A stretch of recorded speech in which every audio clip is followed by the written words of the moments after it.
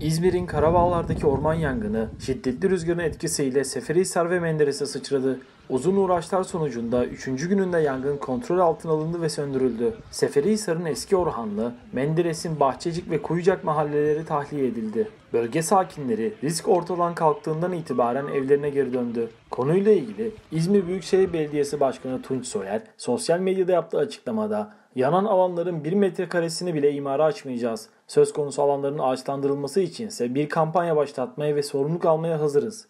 Tarım ve Orman Bakanlığı'na talebimizi iletip onaylarını isteyeceğiz dedi. Medyaskop'tan Özge Açıkgül, İzmir'de 3 gündür devam eden orman yangını hakkında Orman Mühendisleri Odası İzmir Şubesi Başkanı Sabahattin Bilge ile konuştu.